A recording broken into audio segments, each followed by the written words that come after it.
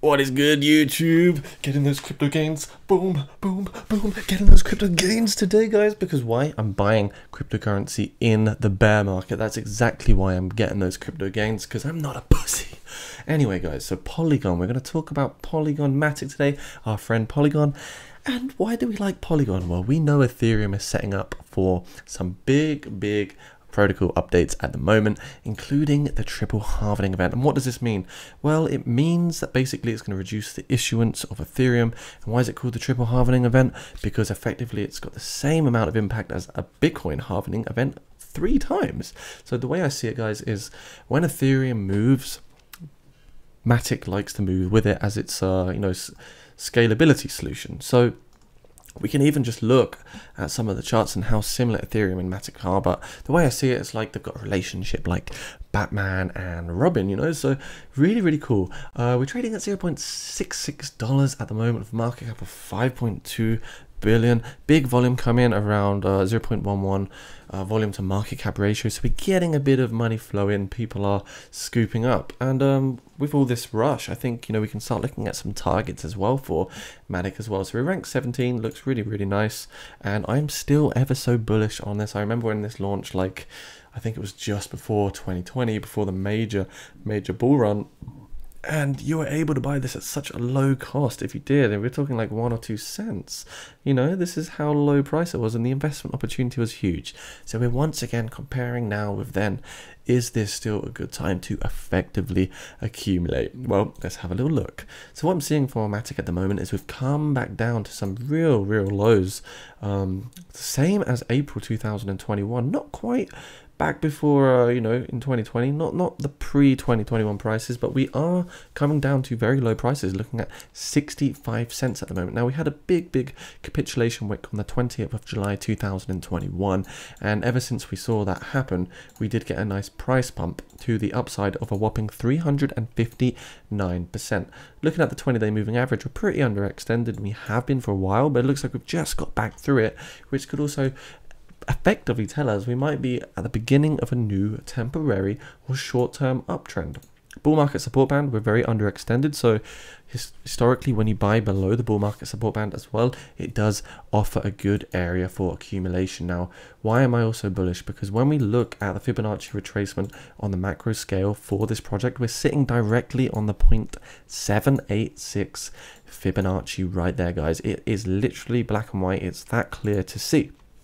Typically, this is a good area to reaccumulate post bull market and it does show a strong strong area of accumulation. If you were to lose a 0.5 level of support though you know on the bearish scenario we could easily fall back down to lower price levels and the first kind of support levels i'd be looking for is around this particular level here, the 0.47, and more significantly, the major, major, major support level 0.29. So I still think this is a great area to potentially reaccumulate more Polygon Matic, and um, in my opinion, I'm gonna go for it because I think we can at least see a pump to the upside at some time soon. Because if we look at the previous local high over here at around $1.75, we can see if we break out from this particular descending channel, we will be facing up towards at least $1.27, maybe even $1.48. So Matic is on the way to $1, guys. I think it's going to happen soon.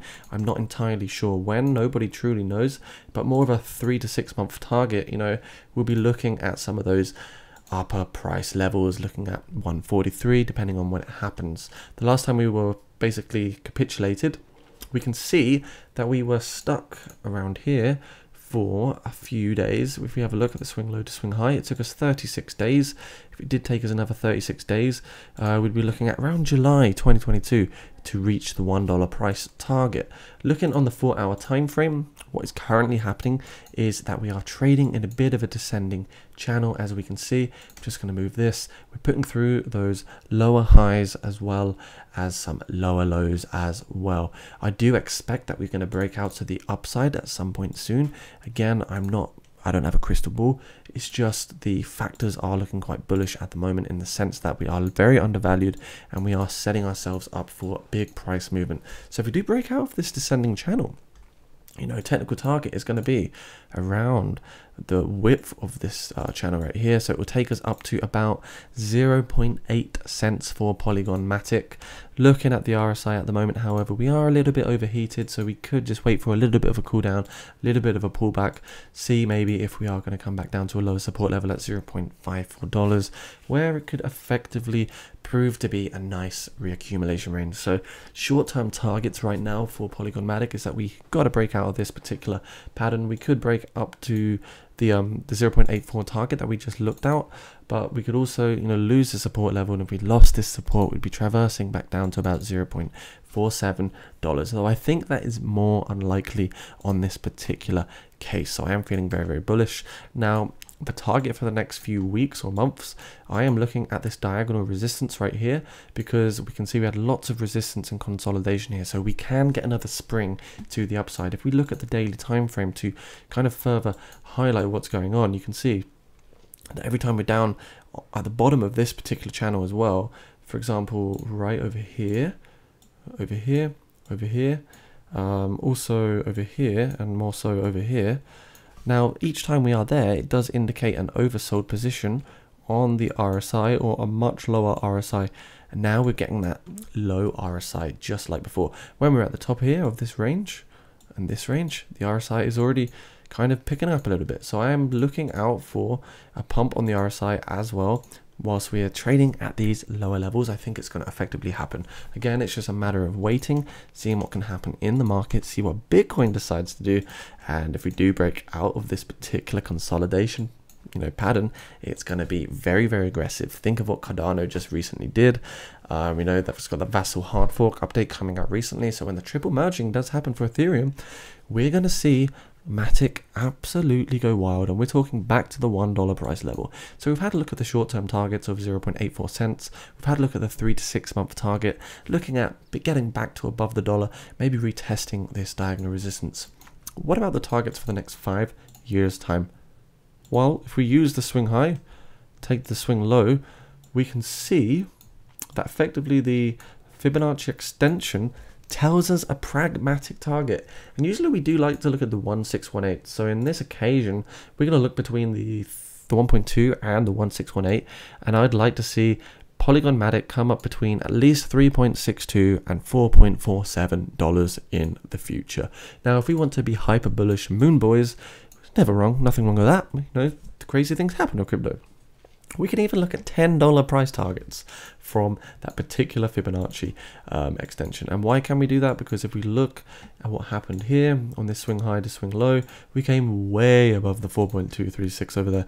If we look at this particular swing high to swing low, we came all the way up to just between the 1 and the 1.272. Of course, that was during a flat peak, a flat level correction in the market as well. So really, really interesting to see what could potentially happen for Matic. I'm extremely bullish for this project in the long run. And if we do look at Matic, I mean, just take a look at this chart, for instance, guys. Um, how similar does it look to Ethereum? So, so similar. You see that? Getting that same consolidation here. And what's also crazy is Ethereum had many, many touchdowns at the $1,700 level touchdown here, touchdown here, touchdown here, touchdown here, touchdown here. So I'm expecting rejection on this symmetrical triangle. If we come back down to the $1,700 level, perhaps we're going to break that support level just because the more times you retest a support or resistance, the more likely you are to break through or below.